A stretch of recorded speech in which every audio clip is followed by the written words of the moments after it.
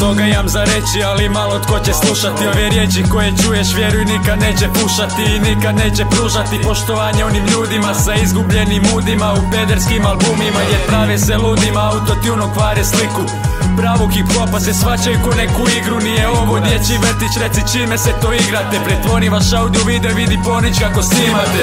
A glavu klimat će samo oni koji razumiju kulturu I umiju da predstavljaju čvrstu armaturu Onog što se zove hip hop na sve četiri strane svijeta I pokazat pravi sjaj bez šminke četiri elementa.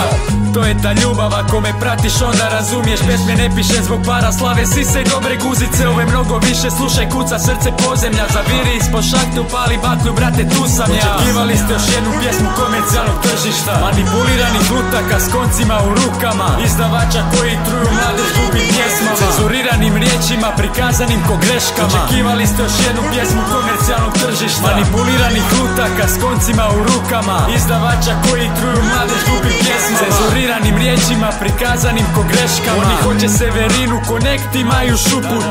Jelenu, Rozgu, magazin ili neku sličnu grupu Tko je to? Jebeni izdavači, eto tko. Nije bita pjesnik, već lutka sa dobrim dupetom Ovako stoji situacija, album je retardacija Nesvjesna ovacija, publike koja je važna samo dobra zajebancija Veseli kokteli, gudra, pranje, halucinacija. Gdje smo tu mi, ulični svirači, klošari Na ramenu torba puna snova, izgledamo ko poštari. Što dijele vam pjesme, evo besplatni vam tejpovi. Ulično izdanje, potpis, original repovi. Repo bi repovali, repali bi svi Ali malo ko do kraja će izgurati od njih.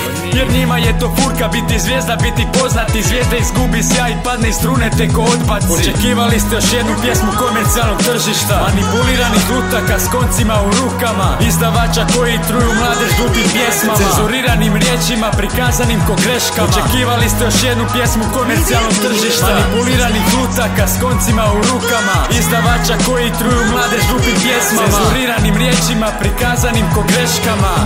Yeah, reću ga a Volim vas šomi, jedna ljubav beat. Got a better production.